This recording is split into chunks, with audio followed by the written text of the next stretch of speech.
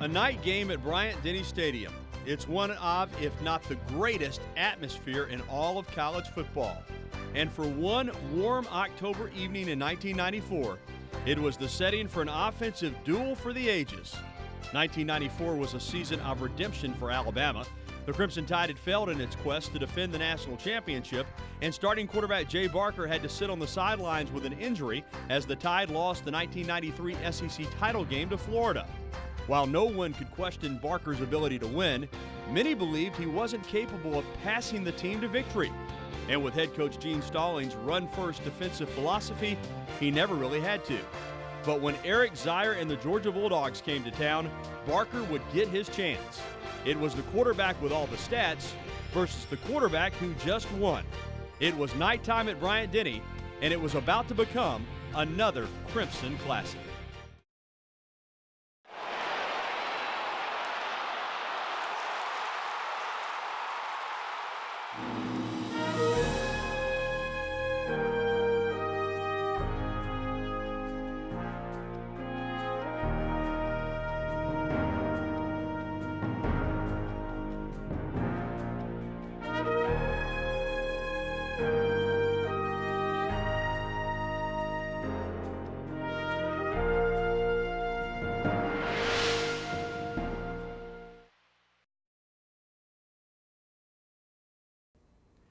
Welcome to another installment of Crimson Classics. I'm Gary Harris. In 1994, the Alabama Crimson Tide was trying to reestablish the form that had led the school to its 12th national championship just two years earlier in 1992. Quarterback Jay Barker was now a senior and on his way to becoming the winningest quarterback in Alabama history. He was also the leader of a senior group that would finish as one of the greatest classes in Crimson Tide lore. 1993 had not ended well for the Tide. Bama was upset by LSU, snapping an undefeated streak which stretched all the way back to early 1991. Then Barker was injured during the Iron Bowl as Bama saw the Auburn Tigers get the win to cap off an undefeated season of their own. As Barker rehabbed to get ready for the 94 season, head coach Gene Stallings, possibly on a suggestion by then athletics director Hootie Ingram, brought in Homer Smith as offensive coordinator to help inject life into a conservative, albeit successful offense.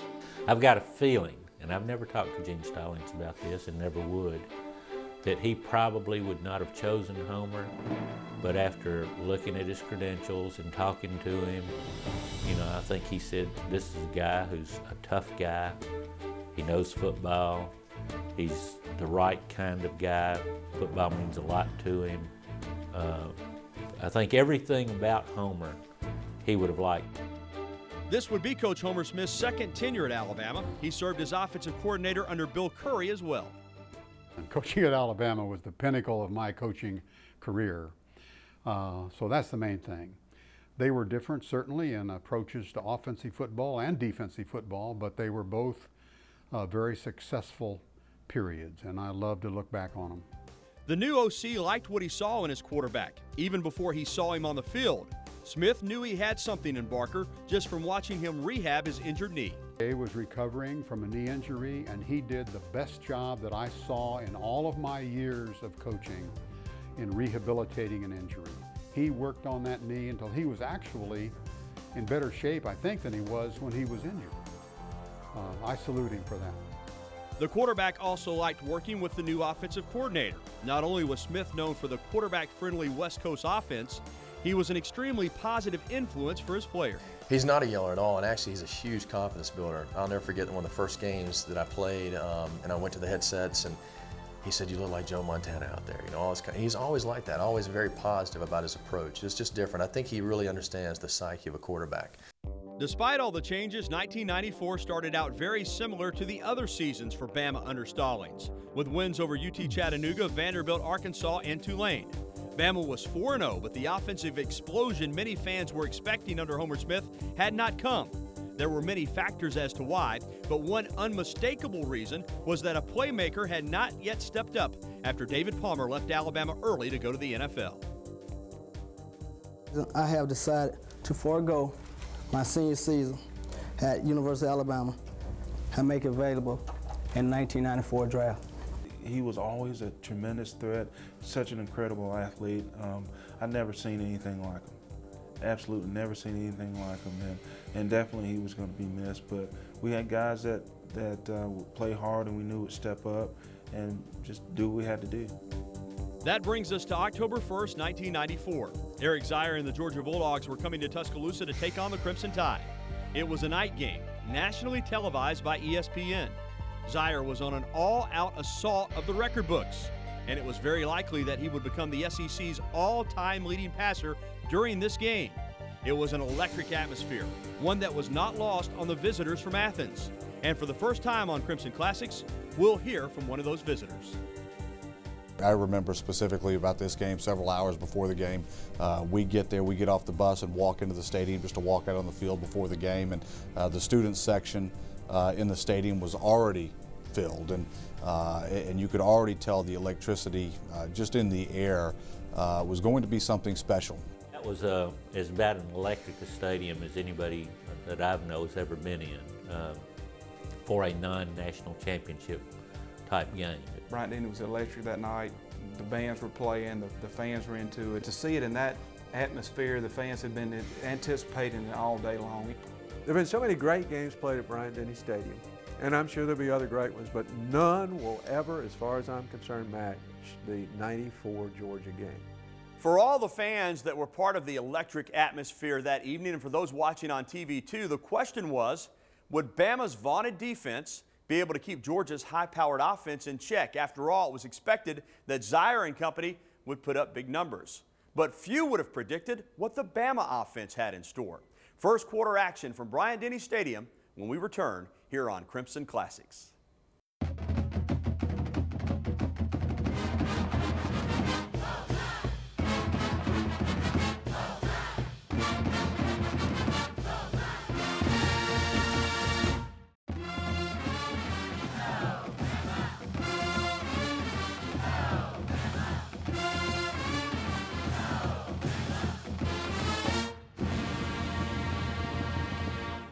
Bryant Denny Stadium was packed on that warm October evening. The Georgia Bulldogs won the toss, and to no one's surprise, head coach Ray Goff elected to receive the football and get his high-powered offense right out on the field. Playboy All-American Eric Zeier had completed more passes in his career than Jay Barker had attempted. Everyone, and I mean everyone, was overlooking Jay. And maybe in some people's eyes, you know, Eric Zeier was was a little higher than, than Jay Barker. So Jay had to kind of step up his game a little bit to match Eric.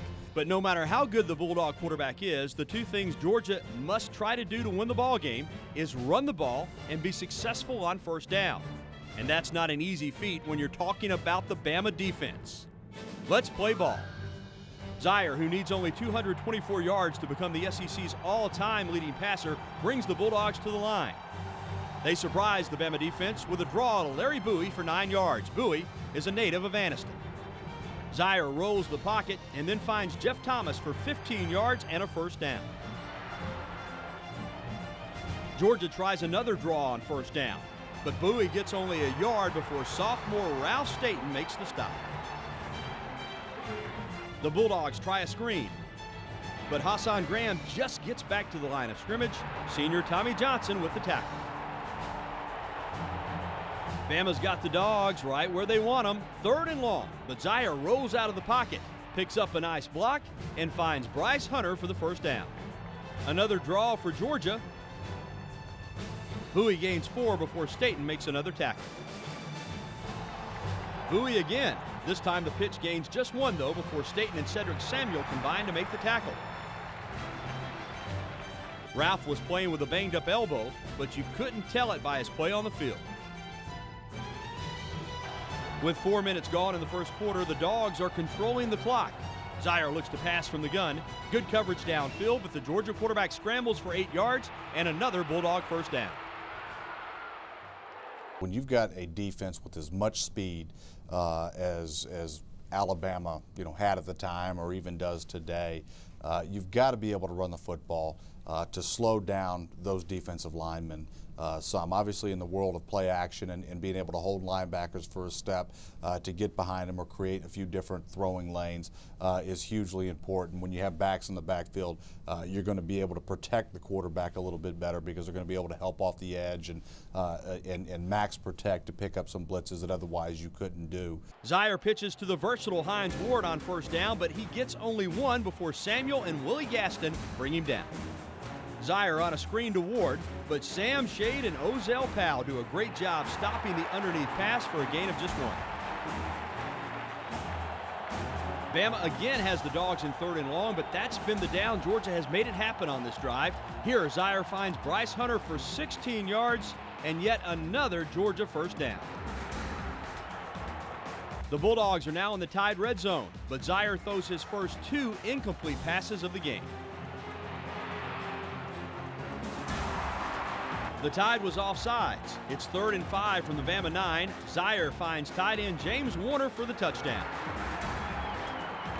PAT made it 7 0 Georgia. The Bulldogs' drive went 80 yards in 14 plays, chewing up six and a half minutes off the clock. It culminated with the first passing touchdown given up by the Bama defense all season. Was a big drive, being able to start the game like that and cap it off uh, with a touchdown. Uh, the way we did it was was extremely important for the rest of the game. And that, that play uh, that we scored on was actually the same play that we ran uh, uh, later in the game and uh, with, the, with the fourth touchdown that we had. Same exact play, just a different read on it where the tight end runs a little skinny post through the middle and the read goes from there down to a running back that's on a little under route that comes underneath that. Uh, that, that post. Uh, James is the first option on that.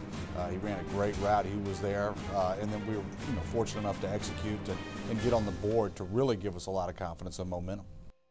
Confidence and momentum for one team, and for the other, uncertainty. And for one of its players in particular, a redshirt freshman making his first start. We played Tulane the week before, and I played a good bit in that game. And we had a meeting the following Monday. Coach Fuller entered the meeting room, and he asked me how I thought I played against Tulane. I thought, told him I thought I played as hard as I could, and thought I played decent. And uh, he told me right then, he said, well, you better pick it up because you're starting. Bama's first drive doesn't go well. Barker gets sacked on first down. Sherman loses five on second. Then Barker finds Toderick Malone, but short of the first down. The Tide must punt it away.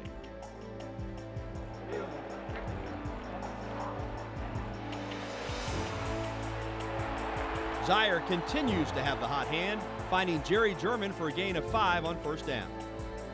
Yet another draw play on second down. Larry Bowie gains four before Staten and Samuel bring him down. It's third and short, and Georgia gets it into the hands of a playmaker.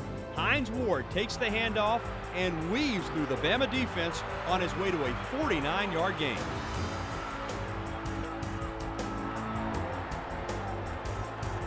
With the Dogs threatening to score again, it was time for the Bama D to step up. Daryl Blackburn and Brian Thornton stuffed Bowie on first down. Inside the 20 now, Zeier completes a pass to Bowie, but Dwayne Rudd puts his hat on the ball, and Fort Payne's Eric Turner picks the ball out of midair. Nice job and a much-needed big play by the Bama D. But Zeier and the whole Georgia offense were still looking good. When you're able to go out and step on the field and execute, obviously things like turnovers, uh, they, they will catch up to you the Crimson Tide offense gets back on the field, hoping to fare better than on the first drive. It starts out well as Barker finds Malone for a gain of 10 and a first down. From the 37, Bama tries a screen pass to Tarrant Lynch, but Georgia's Randall Godfrey sniffs it out for a five-yard loss. On second and 15, Barker's pass is complete to Curtis Brown for a 10-yard gain. On third and five, Bama sticks with the pass as Barker hits Malone on an underneath route and some shifty moves gets Toderick 11 yards and the first down.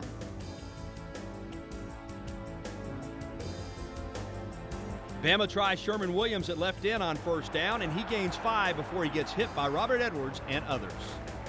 On Bama's first trip to Georgia's side of the field, Homer Smith calls a little razzle dazzle. Jay fakes it to Williams and tosses it to Marcel West on the end around. West gains 11 before he's tripped up. An Alabama penalty, then a Georgia penalty made it second and three from the Bulldogs 24 as time expired in the first quarter. It was an exciting 15 minutes, but as we like to say in the television business, you ain't seen nothing yet. Second quarter action when we return here to Crimson Classics.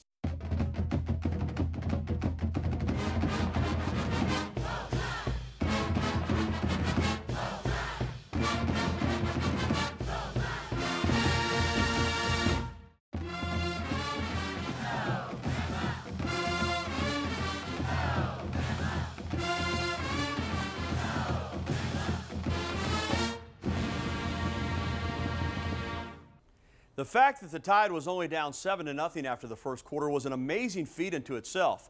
Bulldog quarterback Eric Zeier had Bama on its heels, going 8 for 10 for 138 yards, including the first passing touchdown given up by the Tide that season. But the Bama D, always opportunistic, got the timely turnover they needed. The Tide offense struggled at first, but Jay Barker was 6 for 6 and moving Bama down the field. Let's pick up the action now with Eli Gold and Doug Layton on the Alabama Radio Network. Second and three Bama now as we're back to work. Football out the Georgia 24. The give to Sherman Williams. He's down to the 21-yard line. Darn close to first down yardage. Third and inches from the 21 and a half. The backs are stacked. Barker's going to do it himself. It looked as though he was repelled at the first point of impact. And Ron Gilbert, the referee's leading all the way didn't down. Didn't make it. No. Still fourth down now. And those same inches for Alabama. What's going to happen here? From the 21 of Georgia. Fourth and inches from the 21. Big play right here. Barker downstairs. He's got it. He's to the 20-yard line. First and 10 from the 20. On the give, Sherman Williams finds a hole left side east of the 18-yard line. Second and eight from the 18. Pitch back. Williams cuts inside the block of Malone. He gets drilled at the 17. He may pick up a yard. Under center Causey steps back and look. Jay's throwing across the middle. Great catch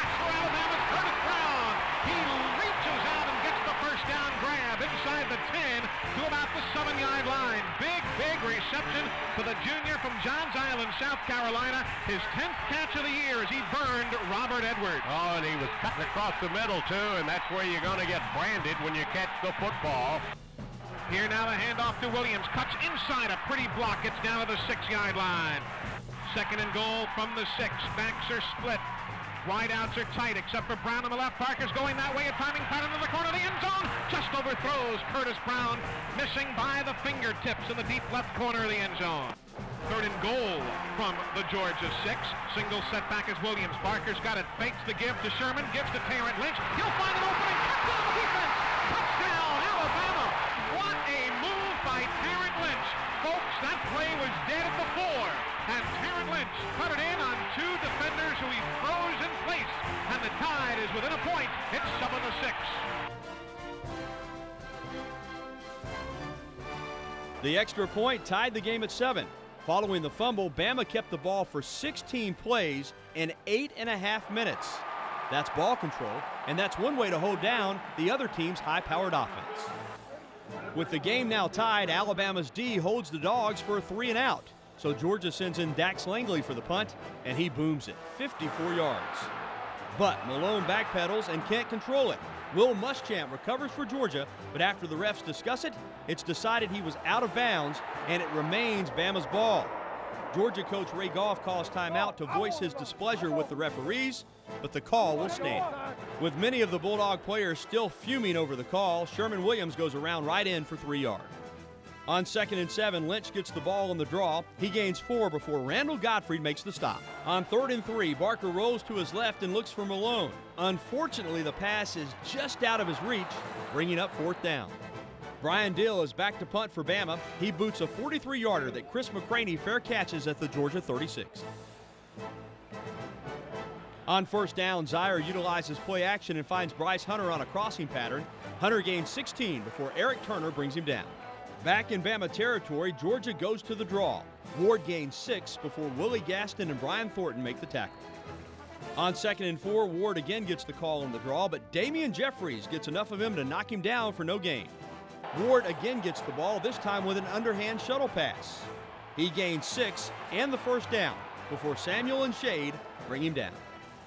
First down for Georgia. Zeier hits Jeff Thomas, who gains eight before Willie Gaston comes up to make the play.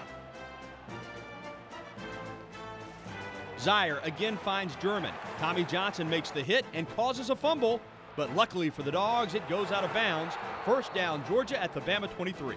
Zeier capitalizes on the lucky break as he finds Hassan Graham on a go pattern in the end zone for the touchdown. The extra point makes it 14 to 7 Georgia.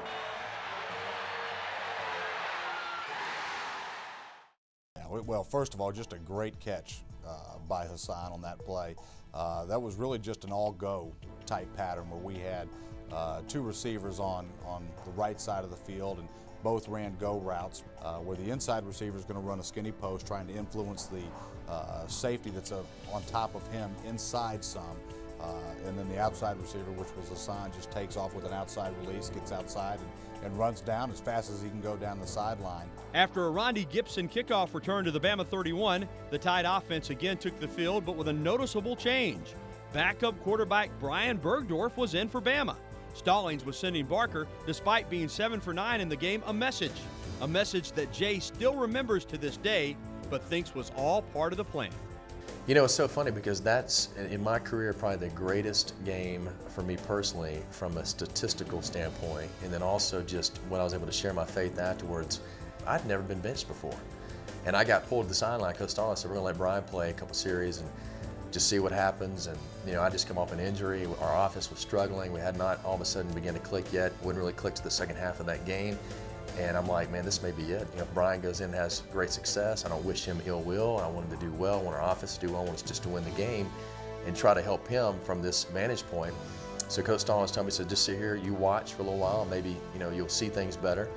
And in it, you know, in a little bit, I was kind of upset. You know, I was kind of mad that, you know, here I am, won all these games, you're putting me on the bench as your starting quarterback. Now I'm, you know, over here watching and not, not, injured, nothing like that. Well, at that time, a group of my buddies in the FCA came around me and they said, hey, we just want to pray for you. And they prayed for me at that time. And they said, hey, God, we just pray that you lift Jay tonight so that he may lift you up. And um, so for me, that was all humbled at that point in time, which would be the greatest game because everybody says, what's the greatest, Georgia? What's the worst, Georgia? But at the same time, too, is preparing my heart for what would happen after the game. To come back and, and win the game and have a chance to share my faith on national TV um, was unbelievable. So that, to me, it was more than just me playing the game. I think God was preparing my heart for what would happen after the game. On Burgdorf's first play, Bama tries play action, but the pass intended for Malone is too high. On second down, Bama again goes to the air, and again Burgdorf's pass is too high for Malone. Burgdorf tries to find Taurus Turner underneath, but Randall Godfrey has tight coverage, and it's three and out for Burgdorf and Bama. Georgia takes over after the Bama punt and goes with the run. Damian Jeffries from Sylacauga brings Ward down for a loss of two. Bama's momentum was short-lived as Zeier finds Hassan Graham crossing the field. Graham gains 42 before Deshea Townsend knocks him out of bounds. First down from the Bama 28, Zeier tosses it to Ward, who gains three, before Lawton, Oklahoma's Matt Parker makes the tackle. Georgia goes to Ward again, who goes straight up the middle, gaining 19 yards before Cedric Samuel comes up to make the shoestring stop. From the Bama 6, Georgia tries Selma Calloway up the middle, but Dwayne Rudd makes the tackle. The Bulldogs again try to pound the tide with the run. Hines Ward takes the handoff and is met by a host of Bama tackles. Under a minute left in the half, and it's third and goal for Georgia. Zeier finds Bryce Hunter just past the goal line for the touchdown. After the PAT, Bama is looking at a 14 point deficit with 57 seconds left to play in the half. Could the offense respond? I remember Coach Stallings coming to me and saying, Hey, I'm going to put you back in. Brian had not had success. You know, a little bit of your pride going, okay, now you want me back in, you know, all this kind of stuff. But, you know, I just had to swallow that, go out there on the field, and led the team down through Tony, uh, Tony Johnson a couple passes, set up the field goal. Michael Proctor had an outstanding night that night, too. I mean, you know, credit him. The defense, offensive line, everybody is what made that game what it was. But he came in and made some key kicks at opportune times in order to keep us in position to come back and win that game. Barker back at quarterback for one of his specialties, the two-minute drill. On first down, he hits Curtis Brown for a gain of 16. Williams made The Tide offense hurries to the line, but Barker gets flushed from the pocket and throws one at the feet of Sherman Williams.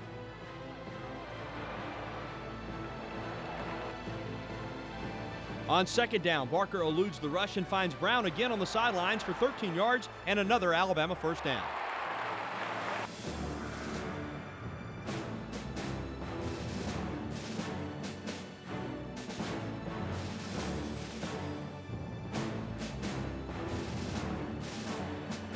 From midfield, Barker is back to pass. Brown makes another catch, this one diving for a nine yard gain. He's ruled inbounds, and Alabama has all three timeouts, so the Tide uses one here with 13 seconds left.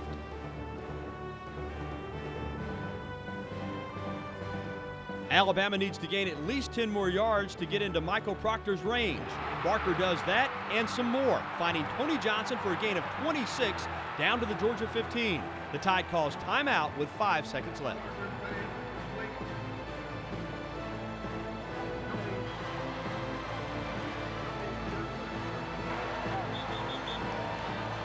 Proctor lines up for the 33-yard attempt. Oh, it hits the upright, but still goes through. It's 21-10 instead of 21-7 Georgia at the half.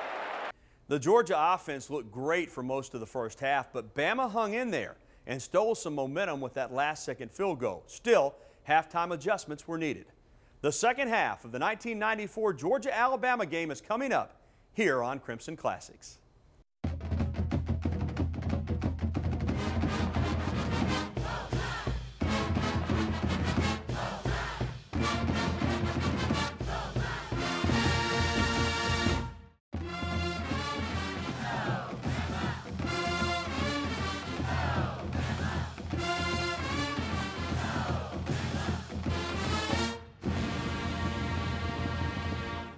As the Tide and Bulldogs went to their locker rooms at halftime, it was clear that Alabama would have to make some adjustments on defense.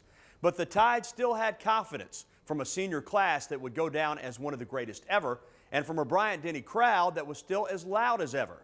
Would that be enough? The Bama players sure thought so, and so did Coach Stallings.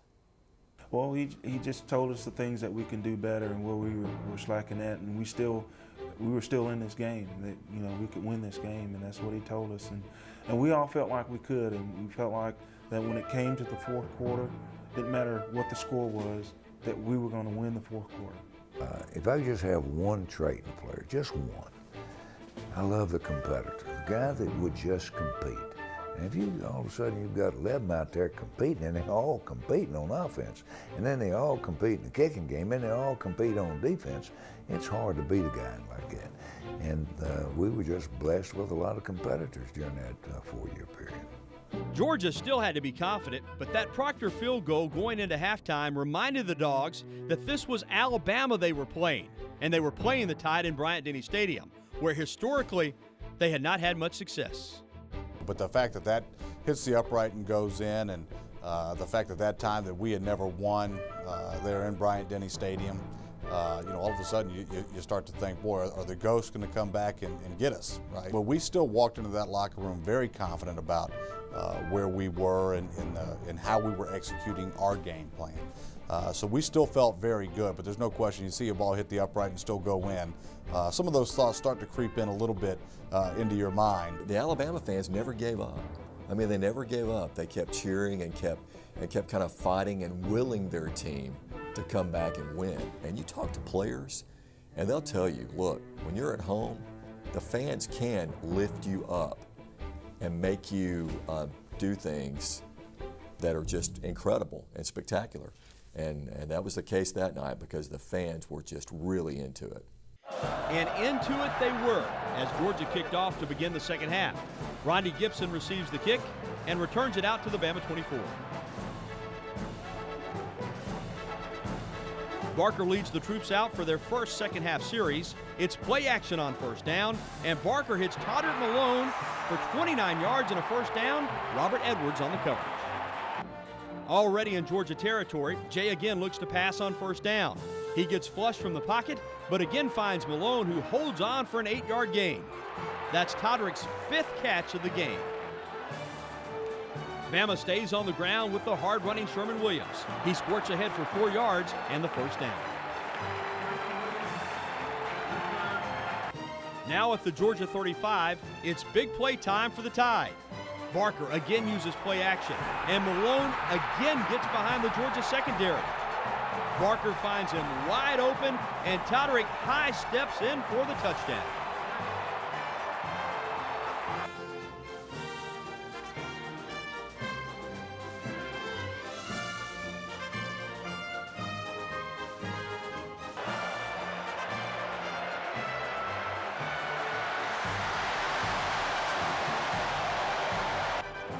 Bama was unsuccessful in its attempt at a two-point conversion, but less than two minutes into the second half, the Tide was within five at 21-16. That drive was spearheaded by Attalla, Alabama's Toderick Malone, who had three big catches. Yeah, Toderick and I, we came in together in 92, and we played together in the, the Alabama-Mississippi All-Star game, so I knew him a little bit from that. And then he was a great receiver. You know, he had, he had great hands, and was really good speed and ran great routes. So, you know, we always knew that he was going to be a, you know, a top player for us. From the Georgia 47, Eric Zeier makes his first mistake of the game. After play action, he looks for Juan Daniels downfield, but it's underthrown, and despite being interfered with, Tommy Johnson is Johnny on the spot and makes the pick. The Bama offense took the field with 11 and a half minutes left in the third quarter and all the momentum. Let's listen to Eli and Doug on the Alabama Radio Network. First and 10, Bama from the 18. The handoff, Sherman Williams. He'll turn the corner out across the 20 to about the 21-yard line with 11.30 to go in this third quarter. Bama down 21-16, but a chance to march it up the field here. Second and six of the 18. Jay Barker looks for help, and he doesn't get any as he is ripped to the turf by Randall Godfrey. Third and 14 now from the 16. Backs are split. Barker to throw. Jay drops back. Jay steps up. He's going to run. He's got room to the 20, 25, 30. He slides to the 31-yard line. Yes, first down. Jay Barker. They gave him all sorts of room to run. They really did. Well, first of all, they don't respect uh, Jay's running ability. He's not uh, that fast. He certainly doesn't uh, have the moves and the jukes that a Hines Ward has, but he is one thing if he's anything, and that is very, very determined and a great competitor. He just tucked it and saw the opening. First down, Alabama. Georgia with a four-man front. Jays to throw. He steps back. He'll go on the screen left side. A little safety valve pass. No one's there to help out, so a loss of three on the play. Here, Barker on the give. Out across the 30 to Tarrant Lynch to the 31-yard line. He'll get four yards back. John Causey is back at center. Will Friend is at right guard now on a third and seven. Bama is four of eight in third down conversions from the 31. Here's Jay Barker to throw. Jay looks. Jay throws the out pattern. Complete at midfield to Toderick Malone. First down, Alabama. He beat Randall Godfrey, who was the linebacker isolated on him. But I'll tell you what, Barker at that time threaded a needle. It was a perfectly thrown pass, a great catch by Toderick Malone from Gadsden. But here's Barker, first and 10 from midfield. Jay drops back. Everybody's covered. He'll unload. Oh, almost complete, but it does go off the arm of the intended receiver, Marcel West. Jay Barker and Eric Zeier. Let's compare the numbers. Jay tonight is 16 of 19, 207 yards and a touchdown. Zeier is 17 of 20, 178 yards, two TDs, and he's been intercepted once. Second and 10. Bama from midfield stripe, going left to right. Single setback, Sherman Williams from the near hash mark. to give is to Sherman. He tries the blocking. He finds a hole to the 45, to the 44-yard line. A pickup of six. It's third down and five now for Alabama. Causey the center. Barker double pumps, unloads, complete to the 38-yard line.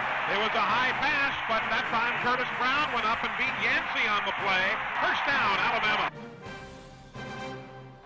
First and 10 from the 38. Barker under heavy pressure. Jay is going down at midfield. He thought about throwing it away. He elected to eat it as Greg Wright put him down. Second and 20 now. Bama's back near midfield. Barker, two-step drop, nothing on the right. He'll throw the safety valve left side. Complete to Lynch inside the 40 to the 38-yard line. It sets up about a third and 10, maybe third and 11. Bama 6 of 10 and third down conversions, looking at a third and 9 now from the Georgia 37. On play action, Barker has time. Barker throws to Chad. He rips the ball away from the defender and hangs on. First down at the 25-yard line. Chad Key and Corey Johnson both going for the football. Chad Key does not miss passes. The ball is thrown. It's anybody's ball. It's the defender's ball. It's the receiver. Whomever gets there and gets their hands on it gets it. And that's what happened is Chad Key just took it away from Corey Johnson. Bama looking at a first and 10 for the Georgia 25. Five and a half to go, third period. Here Barker takes two steps to the right, pitches back to Tarrant Lynch. She goes forward inside the 20 to the 19-yard line. A pickup of five with Bama on the move, trailing 21-16. This time it's a straight dive play for Alabama. That Marcus Williams diagnosis after maybe a pickup of a yard. These are big plays. Bama third and three from the 18. They're 7 of 11 in third down conversions. Jay's got protection. Jay throws. It's swatted down and then up into the air it goes. So now Bama looking at a fourth down and three from the Georgia 18. Got to kick it. Here comes Michael Proctor. This will be a 36-yard field goal attempt from this distance, 35 they will say officially, and from this distance he is a perfect 4 of 4 this year. In the middle, snap in the spot, the end over end kick is up and good, and with 4.04 to go in the third, Bama is within a deuce. It is Georgia 21, Alabama 19. The Tide held the ball for seven and a half minutes, gaining 63 yards on 16 plays. The negative was they only got three points, and the missed two-point conversion earlier loomed large as Georgia got the ball back with four minutes left in the quarter.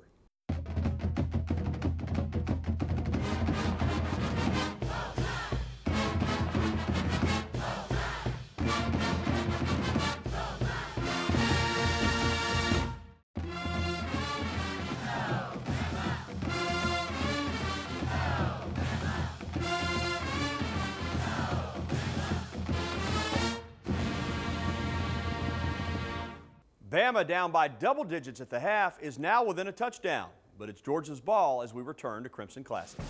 First and 10 from the Dogs 33. Hines Ward finds a hole and gains 13 yards before Willie Gaston makes the tackle. Tack on another five, though, for a face mask. First down for midfield, and Zeier eludes a blitzer to find Brice Hunter, who gains 18. John Walters, the linebacker from Texas, makes the stop. Bill Montgomery with a carry on first down. The Bama defense swarms, and Walters gets another tackle, this one for no gain. Second and 10, Zeier drops back to pass. Hassan Graham gets open and makes the catch, gaining 24 yards all the way down to the Bama 7. First and goal from the 7, Georgia back on the ground with Ward. He gains two before Rudd and Walters combine to make the stop. On second and goal, Zeier is back to pass, and on the exact same play they scored on earlier in the contest, he finds Marissa Simpson for the touchdown. On the play, Zeier also set the SEC career passing yardage mark. Again, the individual uh, accolades that, that I think anybody receives are really secondary. You know, at, at the time, I didn't even realize um, that, that I was close to a record. Shirley had no idea that on that play uh, it, it, set a record. Uh, you know, it, it is neat for the entire team that it, that it occurred in a, a game like we had against Alabama. Uh, such a great football game.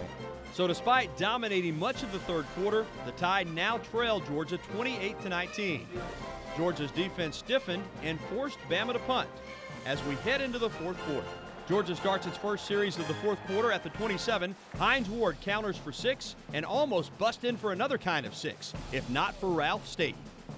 Georgia tries the same play again on second down, but you know what they say about going to the well too often?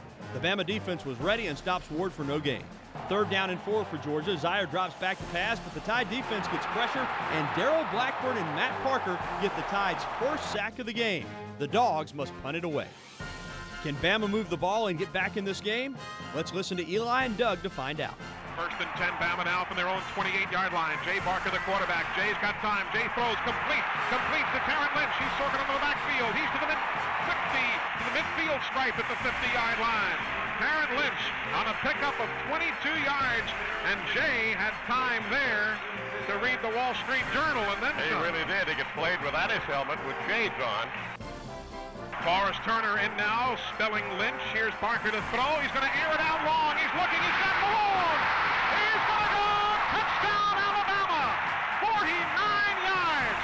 Holy cow, Toderick Malone just streaking downfield. And listen to the crowd. They are standing and cheering as Bama has a big touchdown strike in they're within three. That time, it was Malone cutting through the seams. He went by the free safety. He was not picked up by the safety, and Barker saw him all the way and rifled the ball to him. Malone, with his speed, ran under it. Nobody could catch him. Touchdown, Alabama.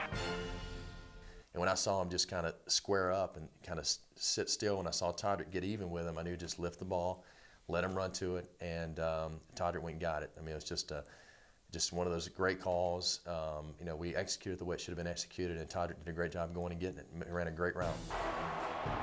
After the PAT, Bama was within two points at 28-26. It's a brand new ball game. William Watts kicks off for the Tide, and the Wild Thing booms one into the end zone for the touchback.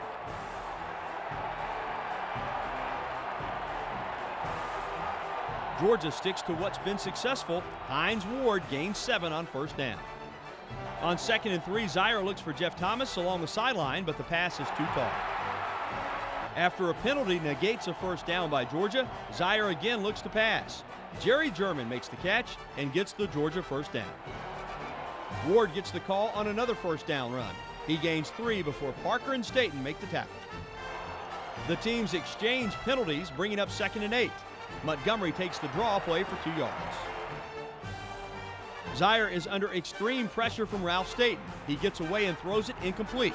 The Tide defense thinks it's off the field, but a holding penalty on the Bama D gives Georgia new life with a first down.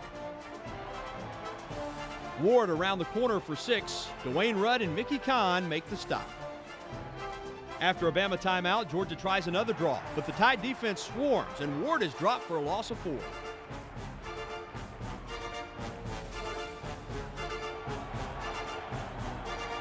Another third down for Georgia. Zeier looks for Ward, but he can't make the catch. Fourth down and time to punt for the Dogs. With the Bama D holding strong, it's the Tide's turn with the pigskin. When we return, the end to an epic Saturday night battle in Tuscaloosa.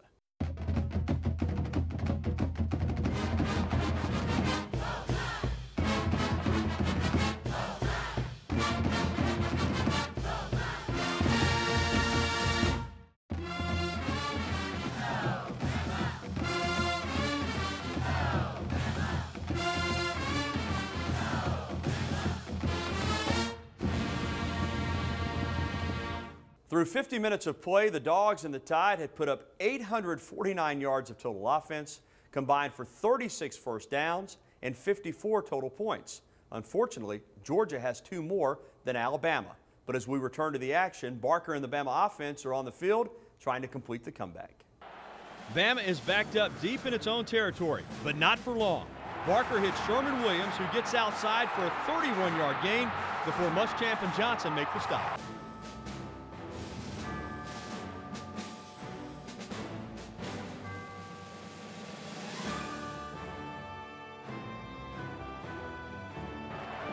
Williams gets it again, but this time Sherman is dropped for no gain. Barker is back to pass, but the Georgia pressure is too much. Frank Watts drops Barker. It's Georgia's fifth sack of the day. Barker is back to pass. He eludes a couple of defenders and dumps it off to Tarrant Lynch. It's another big play as Tarrant gets the Tide first down.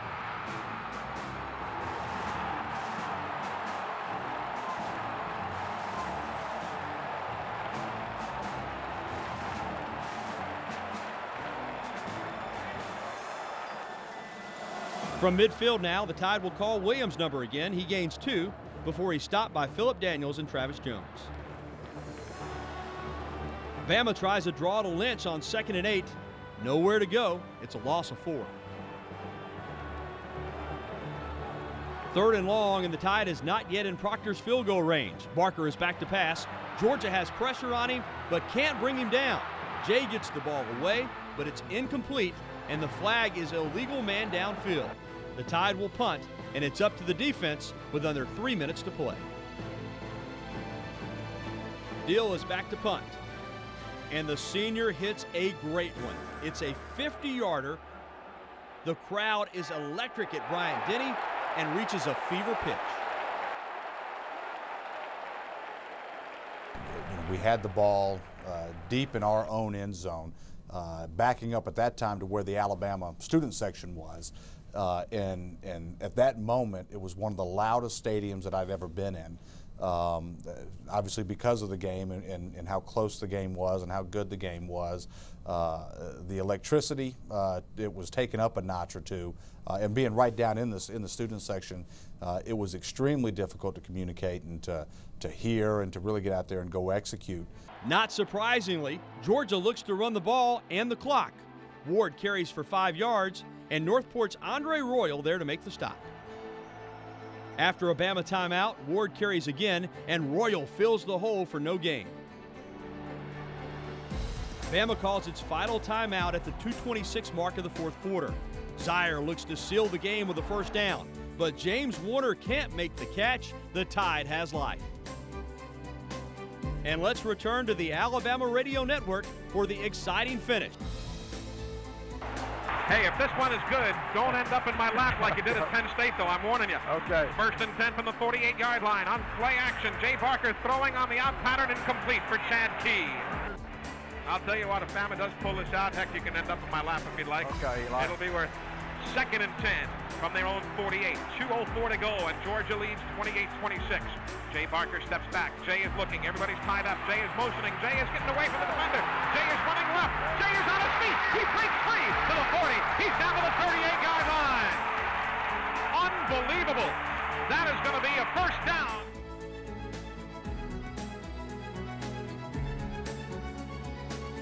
Second and 10 from the Georgia 38. Wide outs either way. Jay Barker has been all world tonight at quarterback for Alabama. He'll take the snap on play action. Jay steps up. Jay throws. It is complete to Johnson. Oh, he's got it. He's to the 20. He's to the 15. He goes out of bounds. Oh, my. With a minute 38 to go in the ball game. Tony Johnson with his second reception of the night. And they don't come any bigger than that. That's absolutely. Jay Barker I don't think I don't think he was the primary receiver, Eli. He couldn't have been. Jay was looking every which direction. And finally came up with Tony Johnson, the junior from Como, Mississippi. Are in the eye. Here's Barker on the give to Sherman Williams. He'll go left side to the 15-yard line. A minute and 28 seconds to go. Alabama will be looking at a second and nine with the football at the Georgia 15 to give to Tarrant Lynch. He's forward to the 14-yard line. Here's a third and eight from the 14-yard line. Barker, the quarterback, goes to the middle of the field, setting up a straight-on field goal attempt. The great quarterbacks are not the ones that always go for the home run. They're the ones that realize they got four downs to make 10 yards. Just get 10 and start all over again. My job was just create positive yards, whether it was just through dumping it down to running back, hitting a tight end, going for the big play, whatever it was, just let's create positive yards down the field and, and try not to use up as much time put ourselves in a position to, uh, to get that field goal. And I had all the confidence in the world. We've done it so many times, of coming back like that. I think everybody realized that we weren't gonna, we weren't going to lose that game that night. I mean, as soon as you step on the field, for me, everything went quiet. You know, just tunnel vision. I'm thinking to myself, you know, this is this is what it's about. You know, Van Tiffin, Philip Doyle. I mean, th this is this is it. You know, I knew I wasn't going to miss. The snap and hold was going to be there. The blocking was going to be there. All I had to do was, you know, make it. And kickers are a little bit different than everybody else. They do the crossword puzzles. They have a lot, a lot of just free time, to, you know, by themselves. Um, but when it came down to kicking field goals, and, and, you just knew it about him. He had this mentality about him that he's going to get the job done. This is this is my moment. You know, this is going to be a lot of fun when I make this kick. The game and the situation was so high stress for all involved even the usually stoic Gene Stallings was nervous. They called timeout, and Coach Stallings called us over to the sidelines, and and you could tell he was nervous. You know, he was like, "Hey guys, we got to block. You guys got to block. You got to get the hold. You got to kick." And Pete DeMario, I'll never forget this. Looked at him and said, "Coach, we do this every day in practice." He looked at him and said, "You know, you're right. Just go out there." It will be a 31-yard field goal attempt. That's where they're going to line it up. Alabama Everybody holding their breath. A minute 16 to go. The snap, the spot, the kick. It's good! It's good! It's good! With a minute and 12 seconds to go. It is good!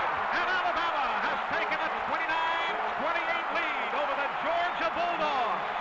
But there are still 72 seconds left in this football game. Perfect snap by Justin Lewis. Brian Beal, good hold. Clock is strictly upright. You're right, Eli. A minute 12 seconds. That's a lifetime with a guy like Eric Sowers.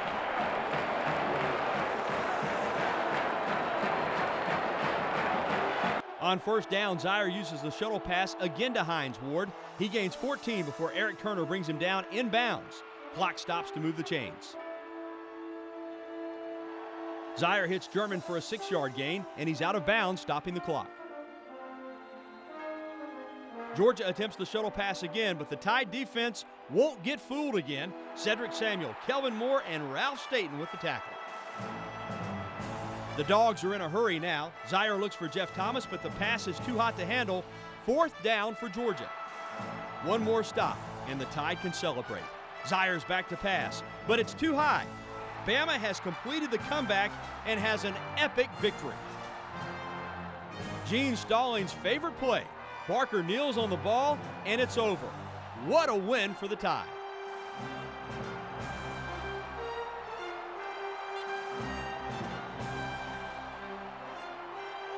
It was it was amazing how um, even people after that game came up to me and I, and, I, and it's amazing that whole next so many weeks and, and just not even till the end of the year all the way through even today people come up and say man my favorite game all time outside of 92 national championship game is that 94 Georgia game just the atmosphere what it was I'd never seen Alabama fans as loud as crazy as excited What a performance and what a win for Jay Barker and Alabama. Bama would go on to an undefeated season in 94 and fell just one point shy of possibly playing for another national championship.